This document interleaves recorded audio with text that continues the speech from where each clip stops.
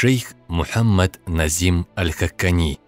С разрешения про шейха Султануль Аулия Абдуллаха Аль-Фаиз от Дагестане, да сохранит Аллах их секреты. От земли к небесам. Беседы на Кипре, в Германии и Швейцарии в период с 1990 по 1993 год. Запись предназначена для свободного распространения – Скачать аудиокниги Мауляны Шейха Назима вы можете на сайте nakshbandi.ru или sufrb.ru. Храните свою веру как ключ от рая. Самая важная ответственность для мусульман – хранить и оберегать свою веру, так как она помогает им достичь любой цели в этой жизни и в вечности и достичь истинного счастья. Представьте, что вам дали ключ к огромной сокровищнице, за которой есть еще одна дверь, открывающаяся в неизведанную волшебную страну. Люди по ту сторону двери стоят и ждут того, кто первым войдет в нее, чтобы сделать его своим королем. Как вы будете оберегать этот ключ? Так что же тогда можно сказать о нашей вере, которая открывает двери рая, вечную жизнь, делая нас навечно королем, наслаждающимся вечностью и дающая вам истинную жизнь? Как же трепетно должно быть ваше отношение к своей вере. А шайтан стремится отнять это у вас, преследуя вас день и ночь. Один сахаба, сподвижник пророка, пришел к пророку Мухаммаду, саллаллаху алейхи вассалям, и пожаловался, «О пророк, когда мы молимся, столько всего приходит на ум. Что мне делать?» А пророк, алейхиссалату вассалям, ответил, «Это хороший знак, это от веры, так как шайтан никогда не приходит к неверующим людям без веры. Это знак того, что шайтан смотрит в твое сердце и видит там иман, веру, и хочет украсть ее. Наша первая ответственность – беречь свою веру, так как это дар от Аллаха, и Он спросит затем, как вы распорядились этим даром. Для защиты пророк, саллаллаху алейхи вассалям, советовал не выпускать детей и подростков на улицу после наступления Магриба, вечерней молитвы, так как после захода солнца наступает время, когда выходит шайтан и устремляется за людьми. Всем известно, что всякий плохой поступок зарождается в темноте, в ночное время. Как обрести божественную любовь? Очищение. Вы должны все больше узнавать о Боге, познавать Бога, и тогда вы будете действительно любить и уважать Его. А уважение и любовь придаст ценность вашему поклонению, а также всей вашей жизни. Аллах никогда не смотрит на внешние поступки, но смотрит через них, каков уровень уважения и любви к Нему. Уважение делает поступки чистыми, а любовь придает им сладость. Поэтому мы должны дарить больше любви и уважения Аллаху через наши поступки. Мы можем делать это, увеличивая наше знание о Нем. Божественное, небесное знание пришло к пророкам. Саидина Мухаммад, саллаллаху алейхи вассалям, имел совершенное уважение и любовь среди пророков. И если бы это знание не пришло к пророкам, нам было бы трудно узнать об Аллахе. Аллах сказал Моисею, «О Моисей, Сделай так, чтобы мои слуги любили меня». И Моисей сказал, «Как мне это сделать, Господь мой?» «О Моисей, напоминай о моих благословениях и благах, которые я даровал им. Если кто-то поступит хорошо по отношению к вам, вы будете любить и уважать его. До тех пор, пока вы помните благословение Аллаха по отношению к вам, вы будете все больше уважать и любить его. Каждый носит любовь по отношению к Господу в соответствии со своим уровнем. Саидине Мухаммаду, саллаллаху алейхи вассаляма, было даровано самое большее. Он возлюбленный. На своих уровнях все пророки были возлюбленными. Знак вашей любви по отношению к Господу – это ваша любовь по отношению к Его возлюбленному, Саидине Мухаммаду, саллаллаху алейхи вассалям, и ко всем другим пророкам и праведникам. Эта любовь ведет вас к любви Господа, вы должны начать с первого уровня и совершенствоваться оттуда, а не с верхнего уровня. Первый уровень важен как основа, а затем аулия поведут вас вверх. Знак вашей любви Господу в том, что она знакомит вас со всеми вся, так что вы начинаете любить все творения Аллаха, никогда уже не испытываете ненависти никому из них. Аллах никогда не испытывает ненависти к своим созданиям.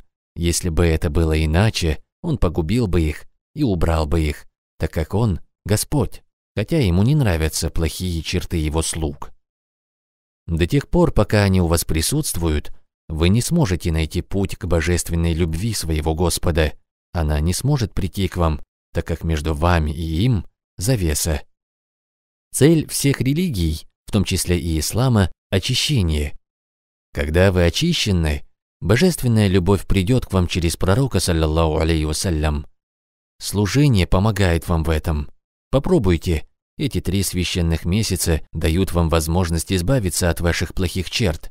Ненависть, зависть и многие другие плохие черты мешают божественной любви войти в ваше сердце. Мы должны стараться получить больше знаний об Аллахе, чтобы достичь небесных стоянок и быть благословленными. Да дарует нам Аллах совершенную веру, чтобы мы не просили ничего, кроме того, чтобы лицезреть Его совершенный и прекрасный лик. Просите Всевышнего. Аллах предопределил всему сущему свой период, когда Аллах способен вывести все, что угодно для Него из своих нескончаемых океанов мощи, не нуждаясь ни в причинах, ни в инструментах. Если же мы намереваемся делать что-то, нам нужна причина и инструменты, чтобы выполнить намеченное. Но стоит Аллаху пожелать, и это сразу приходит в исполнение.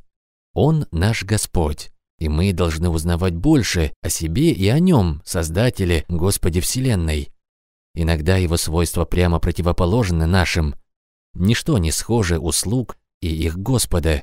Все абсолютно различно. Даже среди нас, людей, мы наблюдаем то же самое. Король никогда не будет таким, как его слуга. Так что же тогда говорить о Господе Небес, Господе Всего Сущего? Как кто-то может думать о сходстве между ним и его слугами? Люди, которые представляют Аллаха таким, как человек, должны быть глупцами и невеждами. Сейчас все христианство пребывает в такого рода глупости и невежестве. Иисус Христос, алейхиссалям, был слугой Господа, его послушным слугой. Господь облачил его быть своим пророком и даровал ему чудесное бытие, но это не делает человека самим Богом. В самых мельчайших из его творений вы можете встретить чудесное. Бытие мельчайшей частицы, массы, атома – это чудо. И люди бездумно полагают, что бытие Иисуса Христа без Отца – это чудо, а как насчет бытия атомов? Никто не сможет сосчитать атомы в существующем мире, никто даже не сможет сосчитать их в одной капле воды.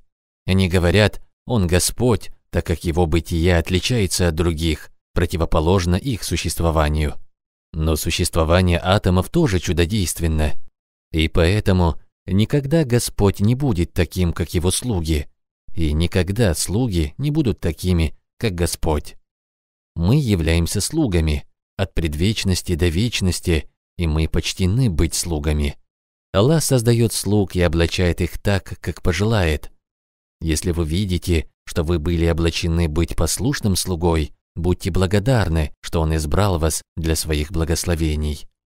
Наша честь и совершенство в нашей возможности мыслить. Животные не могут думать, как думают люди. Возможность мыслить – большое благословение, данное Господом. Подумайте о себе и своем отношении к Господу, об отношении всех созданий к своему Создателю, Господу Небес. Есть много всего, о чем можно думать, только думать о его сущности воспрещается. Вам это не дано познать, ведь это не могут сделать даже аулия и печать пророков не могут. Он первый и последний, он был и он есть. Никто не может достичь абсолютного знания его божественности. Вы – слуги от начала и до конца. Слугам никак невозможно знать о своем султане, повелителе. Он единственный, и у него бесчисленные слуги. Так на что вы претендуете? Вы слуга и выполняете служение, и он оказывает вам честь, но не думайте, что эта честь делает вас большим человеком. Все величие лишь для него. Вы слуга, и мы должны радоваться быть слугами. Наша честь – знать и заявлять о его бесконечном величии. Вы можете молиться на протяжении тысячи миллионов веков. Не думайте, что вы вырастете. Поклонение всегда предписывает вам служение. Аллах дарует вам быть хорошим и послушным, но никогда слуга не достигнет его величия. Это знание дает нам довольство, умиротворенность, счастье и свет. убирает зависть, а через зависть и ваши любые негативные черты и ваше притворство быть кем-то или чем-то важным. Это знание также убирает вашу любовь к чему-либо другому, кроме Аллаха, убирает ваше невежество и открывает двери к божественному знанию, обучая вас служению.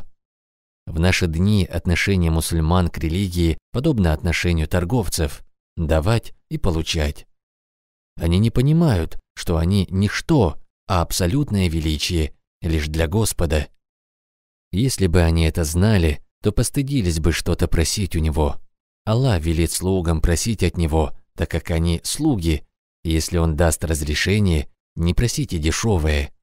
Все, что исходит от творения, дешево.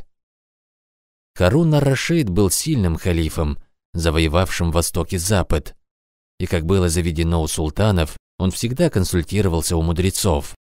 Был один такой мудрый человек, и взор султана всегда был обращен к нему, так что остальные, кто присоединялся к его собранию, завидовали.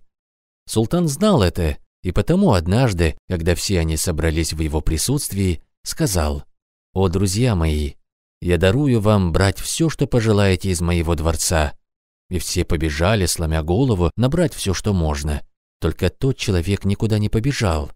«Почему же ты не возьмешь ничего?» – спросил его султан.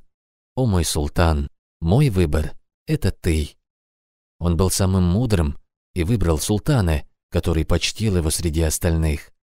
Мы, глупцы, выбираем эту жизнь или просим наград вместо того, чтобы желать его, нашего Господа. Потому пророк, саллаллаху алейхи вассаляма, учил своих сподвижников желать лишь Аллаха. Он сказал, «Я знаю, что моя нация не вернется к куфру, неверию, но я опасаюсь за то, что они могут избрать этот мир. Лишь немногие выбирают Господа. Желайте Аллаха, и вы достигнете и обретете любое довольство и совершенное благо. Вы будете победителем, ничто не навредит вам, и вы будете вечно в раю ваш взор достигнет небес. Подобно человеку, надевающему красные очки и видящему все в красном свете, тот, кто выбирает Аллаха, будет видеть всех людей как людей рая, а не как уродливых фигур этой жизни.